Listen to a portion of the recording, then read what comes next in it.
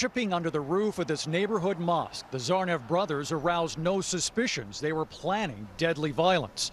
And now the mosque leadership has to defend itself against claims it is a haven for radicals. We find that there has been hate mail, sometimes menacing. So a lot of the claims made are simply, uh, simply false. Um, there have been people coming in and out of this place. We have a congregation of 1,300 people. Charles Jacobs is a longtime critic of the Islamic Society of Boston. They're aiming to transform the youth, particularly the youth, into more and more radical Islamist uh, uh, beliefs. He claims the group has had numerous affiliations with extremists, claims the ISB denies in detail. There have been uh, several instances of people connected with terror and hate speech at that mosque. One figure Jacobs lists prominently is ISB founder Abdul Rahman Alamoudi, a man whose public image was very different from some of his activities. Once consulted by Presidents Clinton and George W. Bush, Alamoudi was sentenced in 2004 to 23 years in prison for terrorist fundraising and conspiring to murder the Saudi prince. The ISB says during his time at the ISB, he followed all rules and regulations, a defense similar when it comes to the Tsarnaev brothers. They never expressed any hint of violent sentiments or behavior. I think if we could have done more, we absolutely would have.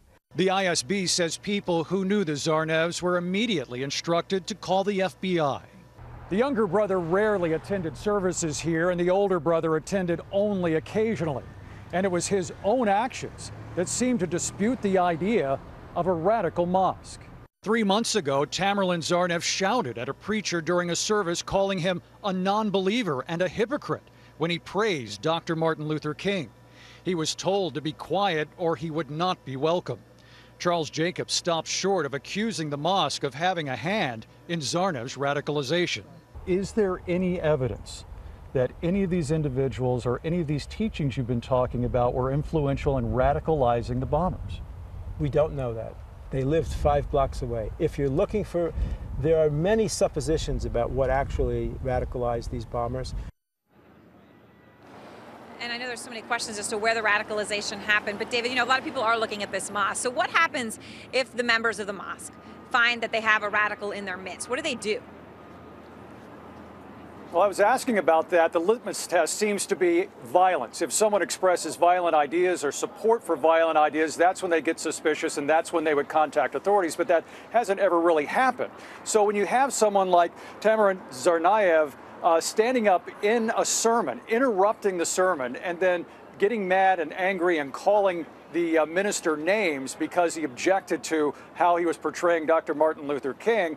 Uh, that didn't raise enough red flags for them to get authorities involved. Instead, they just talked to him. The results of that were he continued to come to the mosque to pray, but he didn't necessarily come back to listen. He wasn't seen very often after that at any other sermons.